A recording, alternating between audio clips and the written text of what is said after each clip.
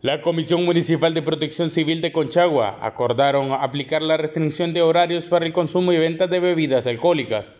Pues ayer reunidos como la Comisión Municipal se miró bien la restricción de bebidas alcohólicas en los diferentes puntos de, que están registrados eh, a nivel de municipio.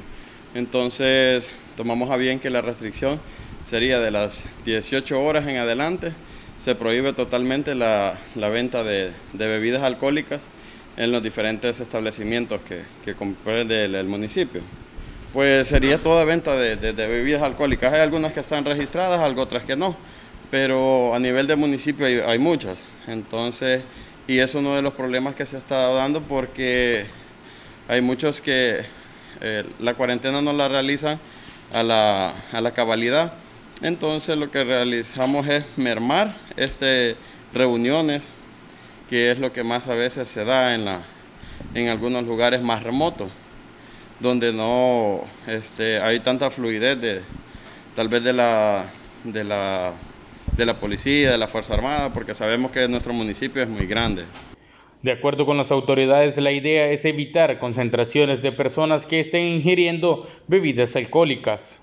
Sí, porque manifestaban lo que es la, lo de la PNC, que se encontraban muchas personas en la calle eh, en estado de ebriedad o si no consumiendo bebidas alcohólicas, reunidos en pequeños grupos, eh, tal vez de, unos cuatro o cinco, entonces tenían ese problema.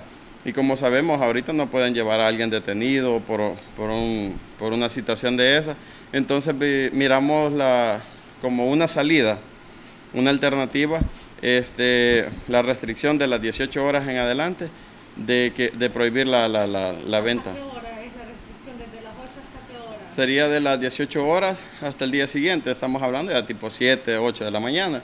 Sabemos que estas actividades ya se realizan de las 4 de la tarde mínimo, ya que a veces la gente sale de trabajar, este, ya se terminan los quehaceres del hogar o alguna cosa, pues eh, ya dicen, no, pues vamos a reunirnos y a, a departir un poco, ¿verdad?